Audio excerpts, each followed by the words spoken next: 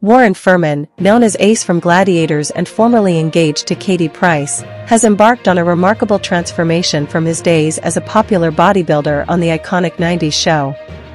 While memories of his gladiator days linger, Warren, now 51, is venturing into an entirely different career path, he's set to become a vicar. His journey to the clergy involves an upcoming ordination as a Church of England cleric at London's St. Paul's Cathedral. This shift is accompanied by his wife Dionne, who formerly worked as a Virgin Airways hostess. Warren, once a construction manager, sees this transition as a pivotal moment, filling a void he had felt was absent from his life. In an interview with The Sun, he expressed a profound sense of purpose in this new direction, stating, I'm now fighting the good fight and I've become a gladiator for God.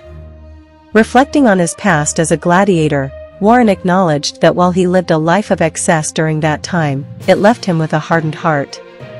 He's emphasized that celebrity status wasn't inherently negative but acknowledged feeling adrift after the TV show ended. Joining the Church of England has given him the sense of fulfillment and purpose that he'd been missing. Warren has also been candid about his past struggles, including battles with steroids and alcohol abuse. Additionally, his relationship with Katie Price, which saw an engagement lasting two years after a 1997 proposal, ended amidst accusations of infidelity involving Ralf Schumacher, a Formula One driver and brother of Michael Schumacher.